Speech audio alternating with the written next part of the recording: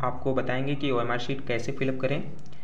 जैसा कि हमारे पास हाई स्कूल यूपी बोर्ड का ये ओएमआर शीट है, और इसमें आपको क्या भरना है, कैसे भरना है, इसमें कौन सी सावधानियाँ बरतनी है, क्या भरना है, क्या नहीं भरना है, इसमें ए टू जेड जो भी जानकारी है, हम आपको स्टेप बाय स्टेप देते रहेंगे।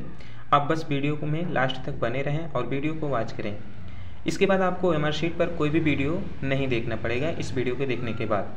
तो इसमें सारा डाउट हम क्लियर करने वाले हैं ओ एम आर शीट के रिलेटेड तो यहाँ पे देख सकते हो ये हमारे पास हाई स्कूल यूपी बोर्ड का जो है ओ एम आर शीट है। इसको भरने से पहले आपको जब ये ओ एम आर शीट मिल जाए, इसको फिलअप करने से पहले आपको पीछे देख लेना है, इसमें क्या क्या इंस्ट्रक्शन दिए गए हैं क्या क्या सावधानी आपको दी गई है।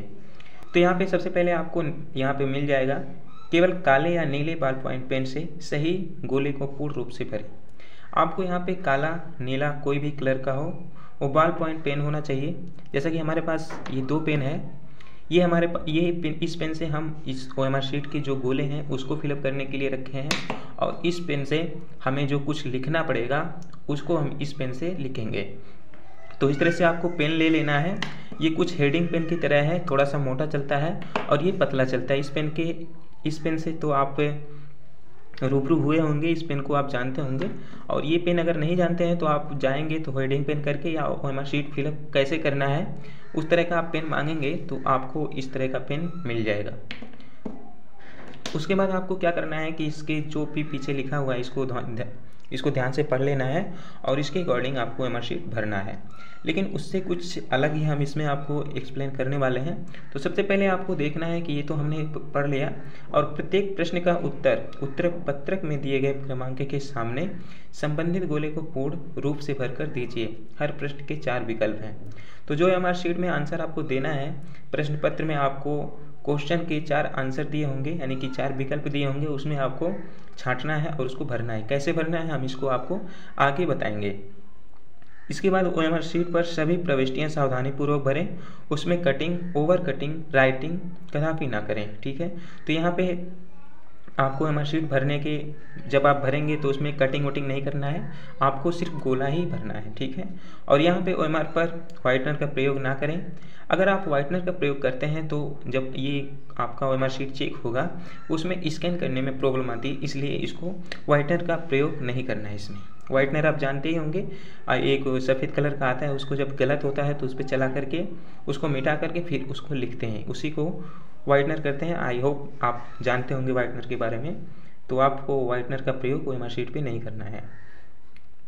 नीचे लिखा है, प्रत्येक प्रश्न का उत्तर केवल एक ही पूरे गोले में गहरा तथा पूरा निशान लगाकर दीजिए, जैसा कि पृष्ठ वन में दर्शाया गया है।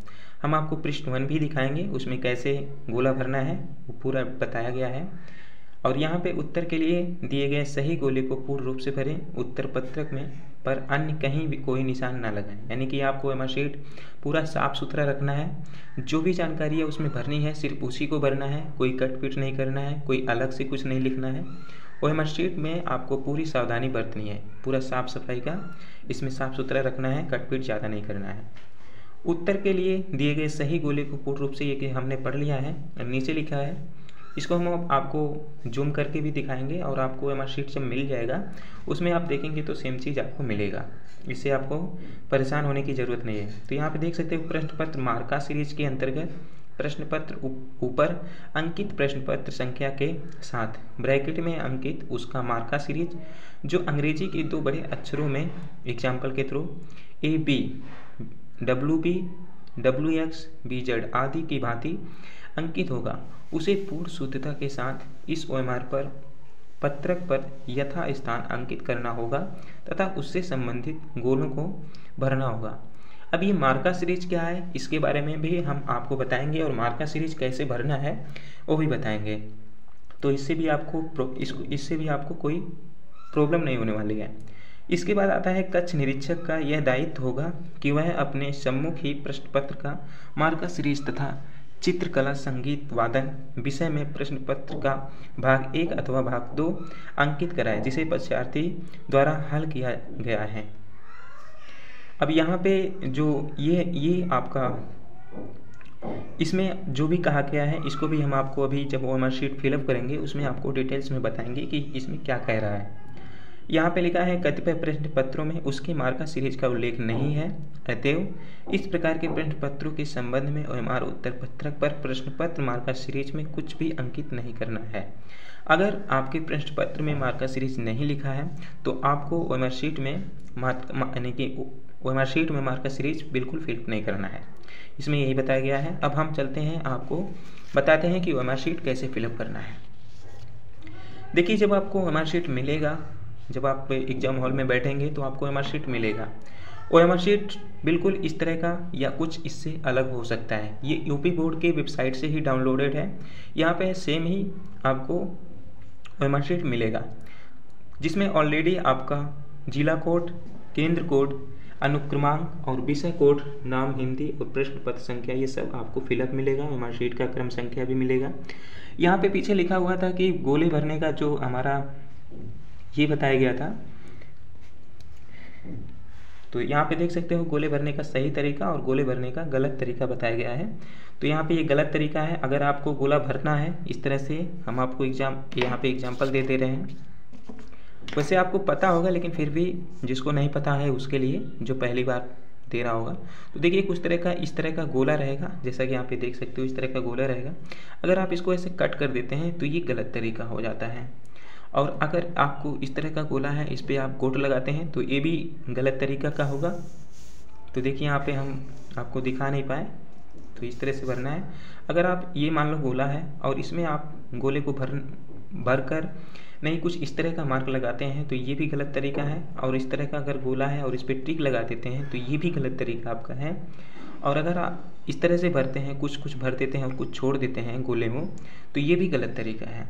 बिल्कुल जो सही तरीका है, वो नीचे दिया गया है। तो यहाँ पे इस तरह का गोला है और आपको इसको आंसर आंसर करना है। तो आपको इस तरह से और इस, देखिए ये पतला पेन है ना तो इसको आपको यूज़ नहीं करना है। आपको मोटे पेन से इस गोले को पूरा फिलअप करना है। तो देख सकते हो इस, एक बहुत जल्दी से आपका गोला पूरा फिलअप हो जाएगा। तो इस तरह से आपको एमआर शीट में सावधानी पूर्वक भरना है और इस पर कुछ नहीं करना। तो ये सही तरीका है, इस तरह से आप गोला को भरेंगे। अब नेक्स्ट हम आपको बताते हैं यहाँ पे ये चीज़ें ऑलरेडी रहेंगी आपके जो एम शीट मिलेगा। अब मार्का सीरीज़ क्या है? आपको उत्तर लिखने से पहले मार्का सीरीज़ मिला लेना है। तो यहाँ पे देख सकते हो, ये आपका विषय कोड है। जब आपको प्रश्न पत्र मिलेगा तो यहाँ पे हम आपको दिखाते हैं। जब आपको प्रश्न पत्र मिल जाएगा तो ये आपका ये विषय कोड होगा। और उसके बाद यहाँ पे प्रश्न पत्र संख्या होगा और ये आपका मार्का सीरीज़ है डी ए ठीक है? तो यहाँ पे हम आपको भर के बताते हैं कि इसको कैसे भरना है। तो इसको हम थोड़ा सा नीचे कर लेते हैं। ये जूम ज़्यादा है। तो इस तरह से है। अब आप, हम आपको बताते हैं।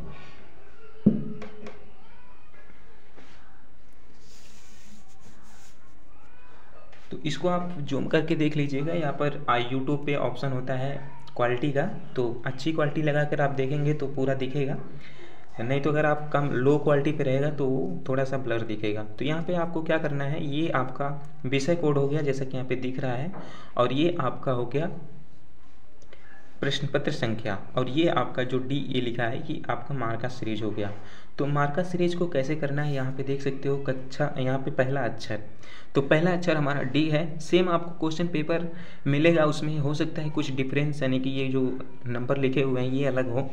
लेकिन आपको सेम ही तरह का मिलेगा और इस तरह से आपको फिलअप करना है। तो मार्का सीरीज़ में आपको पहले डी देखना है और यहाँ पे आपको पहला अक्षर डी लिखना है।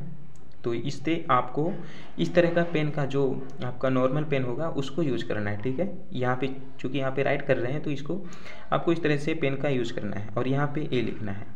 लेकिन जब आप ओ एम आर शीट भरेंगे तो आपको मोटे पेन का यूज़ करना है। अब यहाँ पे देखना है कि डी कहाँ है।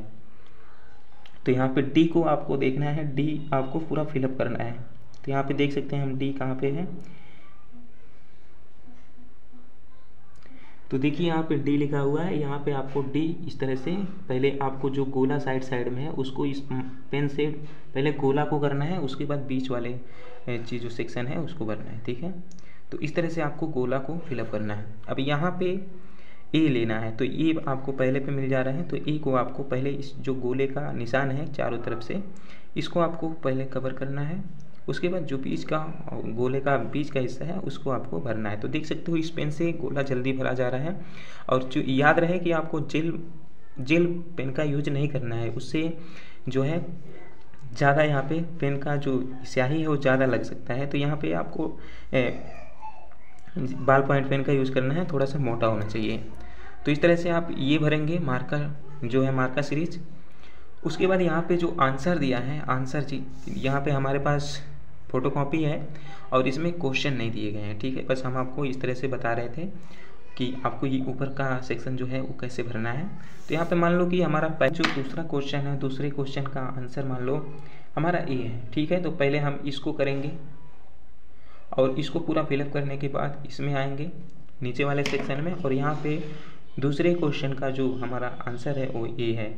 तो इस तरह से आपको फिलअप करना है। अगर आपको कोई भी डाउट रह रहा है तो आप अपने जो निरीक्षक हैं कच्छ निरीक्षक जो टीचर रहेंगे वहाँ पे वो एग्ज़ाम हॉल में तो वहाँ पे आपको उन टीचर से पूछ लेना है और वो आपको बताएँगे कि कैसे क्या करना है। क्योंकि वो आंसर नहीं बताएँगे, लेकिन बाकी चीज़ें वो, जो आपको दिक्कत है भरने में, जैसे ये मार्का सीरीज़ हो गया और कोई समझ में नहीं आ रहा है तो आपको पूछ लेना है, वो बताएँगे।